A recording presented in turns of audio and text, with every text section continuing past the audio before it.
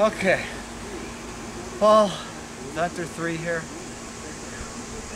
Really hot today. It's about uh, 96 degrees out. Uh, been working on this two days. Today's Saturday. Was working on it Friday. Four hours. Uh, working on digging the hole for the ground post. Incredibly hot today. Uh, if you could see the sun, if you could see the sun,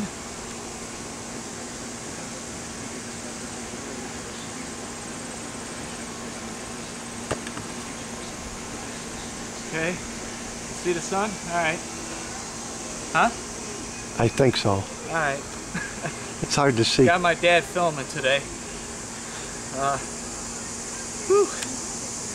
Feel like Survivor Man here.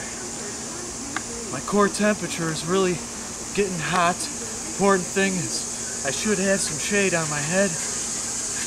We're gonna have to find some shelter first thing. Next thing that's important is to start a fire. Even though it's this hot out, it's important to start a fire in any condition for survival reasons. uh, anyhow. Alright, let me show you, uh, here's all the dirt here. You can see a wheelbarrow, big pile on the ground. The first foot and a foot, the foot and a half isn't so bad. That's dirt, but uh, that's still rough. If you look over here, even getting through the dirt, still got hit a lot of big roots, branches. So I had to break through those using a saw here, sawing it. Uh, finally got our hole here. Oh, let me show you this, these posts here. You can see these are going to be our new grounding rods here. Got one galvanized iron pipe and one copper pipe. Over time, this might not become as conductive because it'll corrode or whatever, tarnish. Uh, these were my old grounding rods here. Uh, pretty much only have them at a depth about this deep. So you can see we're going to be going a total depth now, five feet. And having more surface area in the ground, more metal contacting with the ground. Uh, so far my experiments with ground rods have showed that it's more important to be deeper in the ground as opposed to how much metal we have in the ground, which would, hopefully that pans out to be true, we'll see. Because uh, I'm going to stick both of these ground rods in the ground. First use one to see what the readings are, and then I will connect both of the pipes together, seeing if that will increase readings. If the readings do not increase, that definitely is showing that it's more important at the depth in the ground as opposed to the amount of metal surface area in the ground, which would kind of show that Moray and Tesla weren't exactly right in putting a huge plate horizontally in the ground. But who knows? On with the experiments. Let me show you this. Is five foot. Because I'm close to six, just under six. This fence is five foot. Uh, I'll show you dropping this down in there, all the way down. It's going to be sticking above the ground, maybe two inches. That's it. Let me show you. This, ah, ah, this is the post hole digger. I have to keep going like that. Now, breaking the dirt little by little. Ah, I'm trying to pick out dirt little by little. And it wasn't so bad at first. Because when you're first starting, you're way up here. But as you get down there, it becomes very back-breaking, hard work.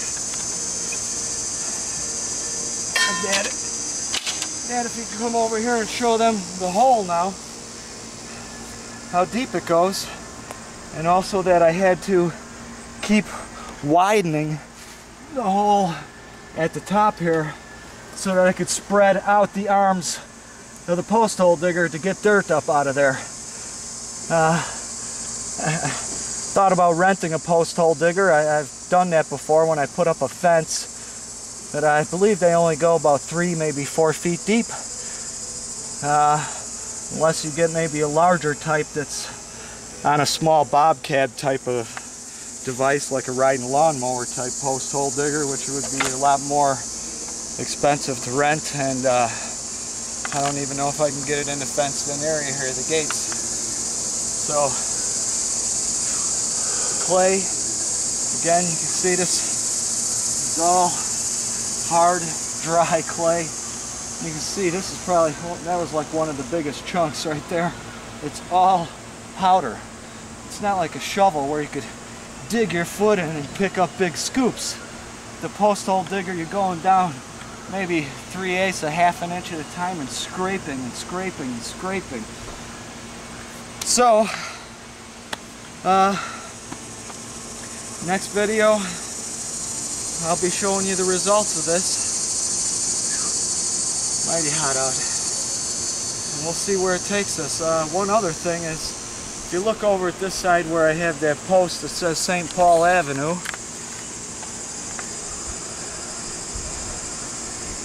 that's where I want to put up the 16 foot post. That's a 12 foot post. I'm going to put up the 16 foot post there or maybe on the right hand side of the entrance to the lab. And going, if you could show them dad over here, the left side, left corner of the garage. Okay. That corner, way over there. Okay, okay. That's where I'll be putting the other post all the way over here in this corner. And then we'll be up above the garage. I'll be able to use a nice, strong, tight, new wire with no ripples in it, bends in it. And get a nice taut wire going from post to post. And then attach one more wire coming off the middle of that one. That'll be more like Moray's device. Uh, it will be going east to west also. Uh, I think Moray was up around 80 feet high though. That I'm not going to get. Uh, as long as, as far as it goes, is the length of wire he used. Uh, I remember reading it was like 87 feet. But then I remember reading that it was 200 feet.